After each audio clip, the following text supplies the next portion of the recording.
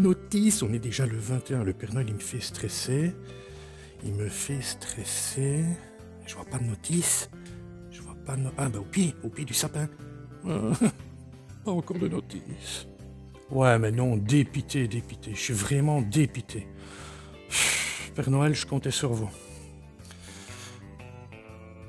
Eh, mais c'est quoi de ça, les chiens? Taz Tux La notice Taz, t'as fait quoi Je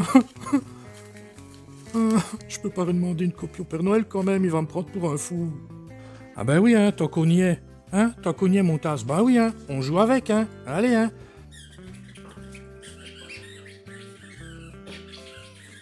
Ah ben oui, mon Tux, hein. Voilà ce qu'on a fait avec la notice, hein.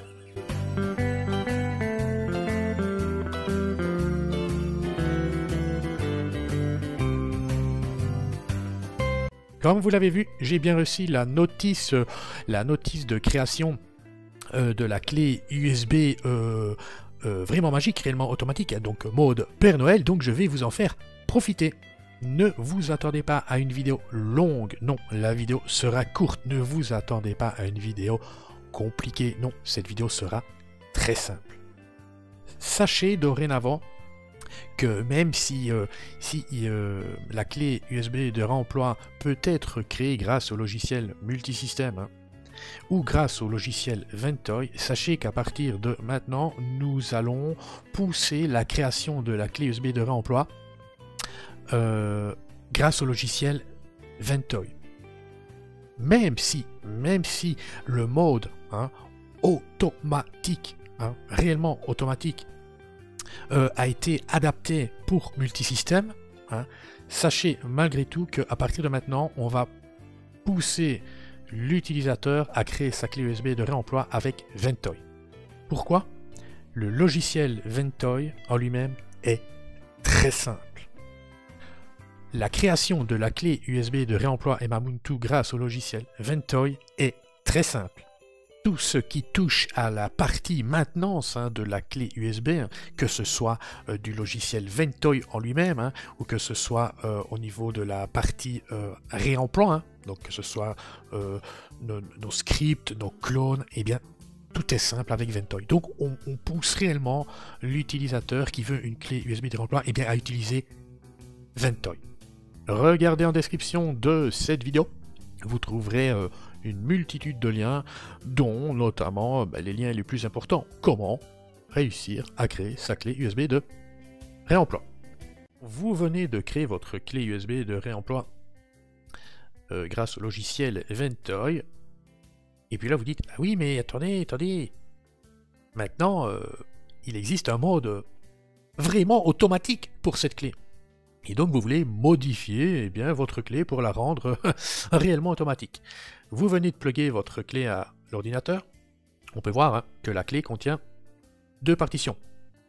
Ok, alors peu importe, hein, ce que j'explique là, c'est valable aussi bien euh, que vous soyez sur Windows ou sur Linux, que vous ayez créé votre clé USB de réemploi grâce au logiciel Ventoy, donc sous Windows ou sous Linux. Peu importe, ce que j'explique est valable pour tout le monde. Sur la clé USB, il y a euh, deux partitions. une partition qui se nomme Ventoy et une partition qui se nomme image en majuscule avec S. Sur la partition Ventoy, euh, il est contenu quoi? Donc un répertoire Ventoy, notre répertoire Ventoy, ok, quatre images ISO, enfin pour ma part, mais minimum vous devez en avoir deux. Hein. Il est impératif d'avoir donc les deux images ISO de Clonezilla, ok, Clonezilla architecture 64 bits, Clonezilla architecture 32 bits. Vous pouvez avoir plus d'images ISO comme moi. Ici par exemple, j'ai les deux images ISO des Mabuntu DE4, hein. architecture donc 64 euh, bits et architecture 32 bits pour pouvoir lancer Mabuntu DE4 en mode live. Voilà, tout simplement. Sur la partition image, nous avons quoi? Nous avons l'ensemble de nos clones, hein, pour ma part, c'est uniquement des clones Mabuntu DE4, un clone architecture 32, un clone architecture 64 et un clone UEFI. Et ensuite, nous trouvons nos deux euh, scripts, nos deux fichiers .sh, clone sh et partide sh. Je suis actuellement sur sourceforge.net, page de projet Mabuntu, dans la partie Files, fichiers. Et on peut voir qu'il y a un répertoire USB réemploi. Ne vous tracassez pas, regardez en description de la vidéo, tous les liens que j'utilise, eh bien, ils seront mentionnés. Je rentre dans le répertoire USB réemploi. Ce que vous pouvez faire, hein, vous demandez un classement par date de modification euh, des fichiers. Et on peut voir quoi? Ah, Qu'il y a eu de la modif en date du 17 de ce mois, donc du 17 décembre 2021. Ventoy.zip a une modification. Clone.sh a une modification. Oh, clone.ini. Tiens, c'est un petit nouveau ça. Donc voilà, on va déjà avoir besoin de ces trois premiers fichiers là. Et alors, on va également télécharger par précaution partide.sh, même s'il date du 26 euh, du 11 2021. En fait, ce qu'on va faire, on va simplement remplacer les fichiers existants de la clé Hein. Remplacer, mais pas que, puisqu'il y a clone.ini qui lui est un petit nouveau. Ok? Donc, ce que je fais, je vais télécharger l'archive ventoy.zip. Voilà, enregistré dans téléchargement. Même chose avec clone.sh. Enregistrer le fichier OK dans téléchargement. Alors, le petit nouveau clone.ini même chose. Enregistrer le fichier dans téléchargement. Et alors, par précaution, on va tout remplacer. Hein. On va remplacer également partide.sh. On enregistre le fichier dans téléchargement. Et pour moi, c'est bon ce que l'on va faire, nous allons désarchiver l'archive ventoy.zip. Donc clic droit, extraire ici. On n'a plus besoin de l'archive. Alors, petite précision, j'ai omis de le préciser dans les vidéos précédentes. Si vous êtes sur Linux, bien souvent, ça ne posera, mais ça ne posera pas de souci. Clic droit, extraire ici, et vous obtiendrez un répertoire du nom de Ventoy dans lequel euh, sera contenu donc l'ensemble des fichiers. Par contre, Hein. Euh, on veille à ce que ça n'arrive pas, mais ça pourrait arriver. Par contre, sous Windows, vous pourriez obtenir un répertoire Ventoy dans lequel il y a un répertoire Ventoy encore et dans lequel il y a les fichiers. Sur la clé USB de réemploi, vous devez y placer le, dernier répertoire Ventoy qui contient l'ensemble des fichiers. Ok? Pas le répertoire Ventoy qui contient le répertoire Ventoy dans lequel il y a les fichiers. Ok? Donc ici, c'est bon. Alors, ce que l'on va faire, regardez, c'est simple. Hop là. Je vais ouvrir une deuxième fenêtre. Voilà. Et on va juste remplacer les fichiers existants. Alors, soit on remplace, ou soit on supprime les fichiers existants et on copie les nouveaux. Alors, je me rends sur la partition qui se nomme Ventoy, donc sur la clé USB. On peut voir que l'on a notre répertoire Ventoy qui contient donc l'ensemble des fichiers euh, au bon fonctionnement de la clé USB, entre autres ce que l'on va faire, nous allons faire un clic droit et le supprimer. Donc on supprime le répertoire qui se nomme Ventoy.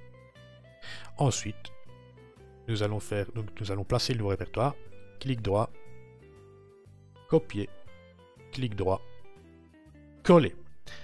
C'est tout pour la partition qui se nomme Ventoy. La partition qui se nomme image en majuscule avec S, qui contient les deux scripts clone.sh et partide.sh. Nous allons supprimer les deux scripts. Je les supprime. Tac. Et ensuite, ce que je vais faire, je vais y replacer donc les deux nouveaux scripts, plus, plus le fichier .ini. Je copie. Et je colle.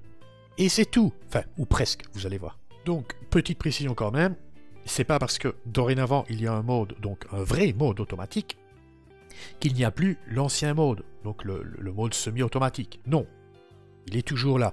Ça veut dire que soit vous pourrez utiliser la clé en mode semi-automatique et choisir manuellement le clone désiré, ok, ou alors vous dites non, non, non, moi je lance la clé en mode automatique et je n'ai rien à faire. Ok, rien à faire c'est bien, mais pour pouvoir avoir rien à faire, il y a une petite astuce. Il va falloir préciser quel clone devra être utilisé selon que l'on démarre la clé en mode UEFI, selon que l'on démarre la clé en mode Legacy 64 bits, selon que l'on démarre la clé en mode Legacy 32 bits. Et tout cela, et oui, vous l'avez deviné, se précise dans le fichier clone.ini que j'ouvre maintenant. Regardez, c'est très simple. Clone Legacy 32 bits, clone Legacy 64 bits, clone UEFI, donc 64 bits. Eh bien regardez, donc je suis sur la partition image en majuscule avec S de la clé USB, là où se trouvent mes clones. Eh bien je vais devoir préciser quel clone doit être utilisé si je démarre la clé en mode Legacy 32 bits. Moi ici, de toute façon, je n'ai que 3 clones, donc regardez, ça va pas être dur.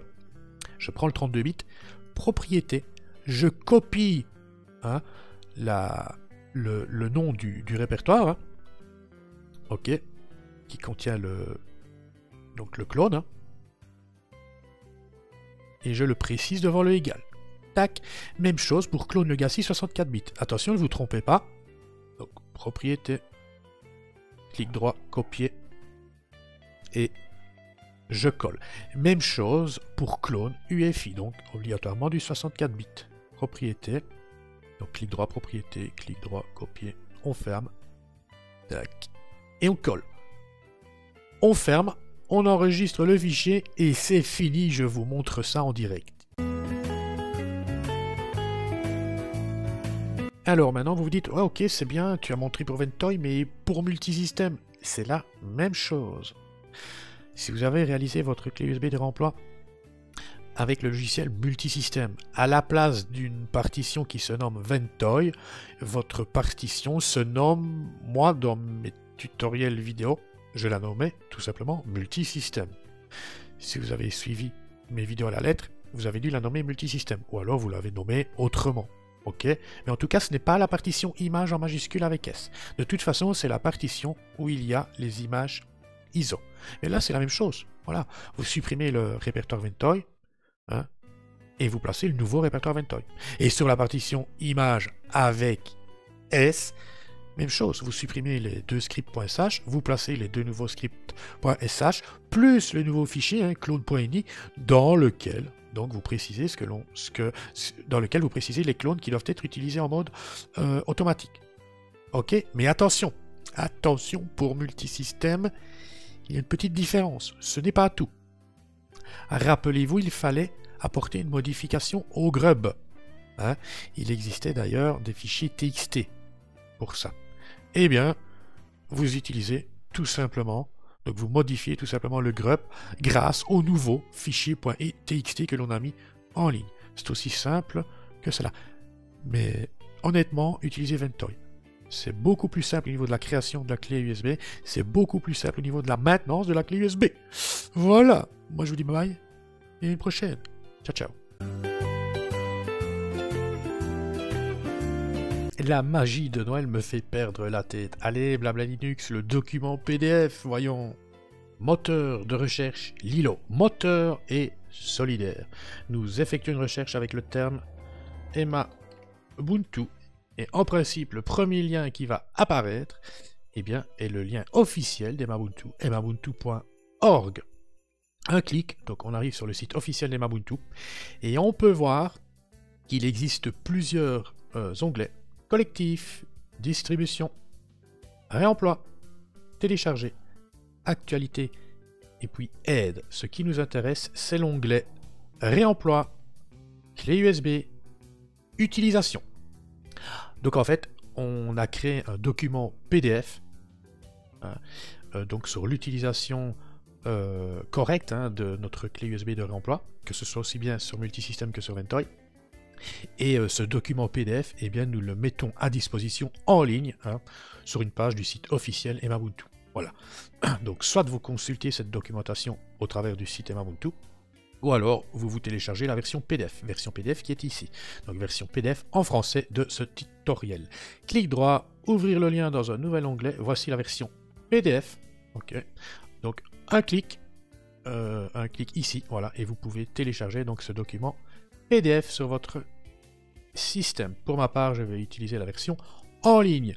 Donc, euh, cette documentation est totalement à jour. Les écrits sont à jour, les screenshots, donc les captures d'écran, sont à jour. Cette documentation, donc, qui concerne l'utilisation des clés, des clés USB de remploi Mabuntu.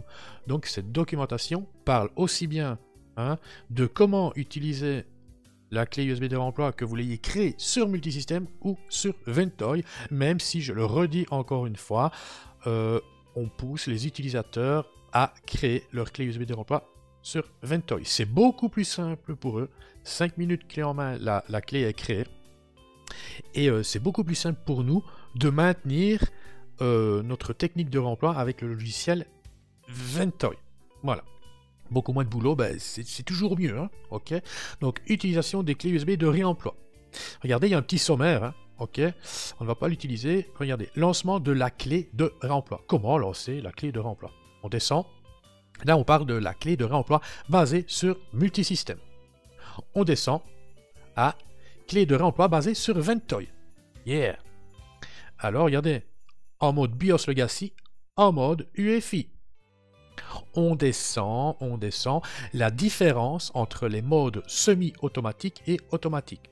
Ce qui est bien, c'est que, voilà, euh, ma vidéo est là. Et si en plus euh, vous voulez consulter donc euh, la, documentation en ligne, eh bien elle est là, elle est à jour.